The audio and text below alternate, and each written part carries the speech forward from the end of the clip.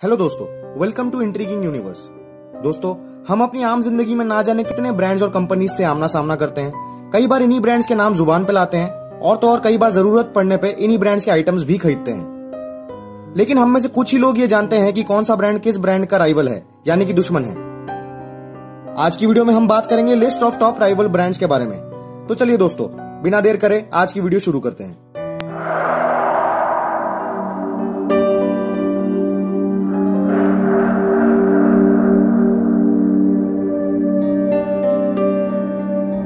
Ford versus Ferrari दोस्तों, ये दो कंपनीज़ हमेशा से राइवल कंपनीज़ नहीं थी। समय 1960s का था और दोनों कंपनीज़ अपनी अपनी जगह पे बहुत अच्छा बिज़नेस कर रही थी। एक दिन फोर्ड के वाइस प्रेसिडेंट ने हेनरी फोर्ड टू को ये सजेस्ट करा कि उनको फरारी कंपनी खरीद लेनी चाहिए ताकि लीमैंस रेस में हिस्सा लेकर फोर्ड की सेल्स बढ़ जाए। यह आइडिया हेनरी फोर्ड को काफ़ी अच्छा लगा और वे फरारी के ऑफ़िस पहुँच गए और एंजो फरारी को यह आइडिया ऑफ़र करा। ऑफ़र सुनने के बाद एंजो फरारी ने हेनरी फोर्ड की इंसल्ट करते हुए ये कहा कि फोर्ड सस्ती और छोटी गाड़ियाँ बनाता है और वे उनके लेवल का नहीं है What did he say? He said Ford makes ugly little cars in ugly factories. वे सिर्फ़ यही नहीं रुके पर उन्होंने हेनरी फोर्ड पे कमेंट करते हुए ये कहा कि हेनरी फोर्ड के साथ वे इसलिए बिज़नेस नहीं करना चाहेंगे क्योंकि वे बहुत मोटे हैं अर्थात उन्होंने वे डील रिजेक्ट कर दिया And uh, Henry Ford two को यह बात बहुत बुरी लगी और तभी से उन्होंने ठान लिया कि एंजो फरारी को इसका जवाब ज़रूर देंगे और उन्होंने अपनी खुद की रेसिंग कार उस साल की लीमेंस रेस में उतार दी.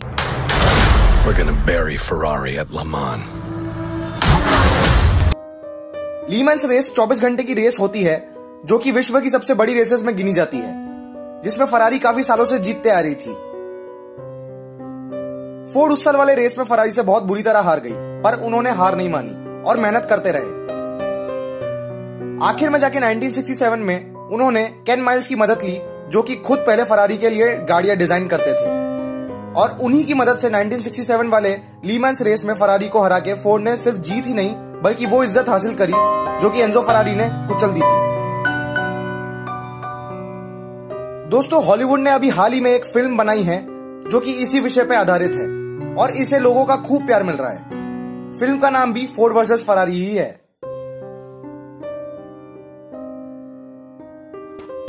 नाइकी वर्सेस रीबॉक समय 1984 का था। नाइकी का बिज़नेस बहुत बुरी तरह से डूब रहा था। उस साल के समर ओलंपिक्स में कार्ल ल्यूइस ने नाइकी के जूते पहन के चार गोल्ड मेडल्स जीते, परंतु फिर भी नाइकी का मार्केट रीबॉक के सामने फीका पड़ रहा था। रीबॉक अपने विमेन्स स्नीकर्स के साथ मार्केट में धूम मचा रहा था कि उसी वक्त माइकल जॉर्डन की एंट्री होती है और नाइकी अपना दाव उन पर लगा देता है। माइकल जॉर्डन के फेम के चलते उसी साल नाइकी के सेल्स आसमान छूने लग गए। और यही नहीं, बल्कि आज तक नाइकी का मार्केट चला रहे हैं और हर साल दो बिलियन डॉलर्स का मार्केट लाकर देते हैं। इसके बाद रीबॉक की जी तोड़ कोशिशों के बाद भी वे कभी मार्केट में वापस नहीं आ पाया और अंत में वो ये दुश्मनी हार गया और 2004 में एडिडास ने रीबॉक को 3.8 बिलियन डॉलर्स में खरीद लिया। कोक वर्सेस पेप्सी 1980s के दशक में कोल्ड ड्रिंक्स और फास्ट फ़ूड का चलन हुआ करता था। कोक और पेप्सी दोनों मार्केट में अच्छा परफॉर्म कर रहे थे कि जब कोक ने डिसाइड करा कि वे एक नया प्रोडक्ट लॉन्च करेंगे, जो कि पहले से ज़्यादा मीठा होगा। परंतु यह आइडिया कोका कोला वालों पे ही महँगा पड़ गया। उस साल की मार्केट शेयर्स सारी पेप्सी की तरफ़ जाने लग गई। चार लाख लोगों ने कोका कोला के खिलाफ कंप्लेंट कर दी। मजबूरन कंपनी को कंज्यूमर से माफ़ी मांगनी पड़ी और तो और उनको अपना मार्केट कम करना पड़ा।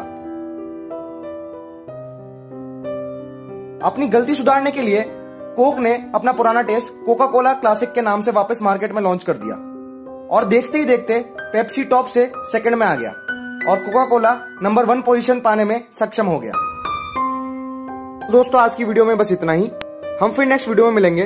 तब तक के लिए इसे लाइक कीजिए और हमें सब्सक्राइब करके हमें सपोर्ट कीजिए। Thank you and God bless all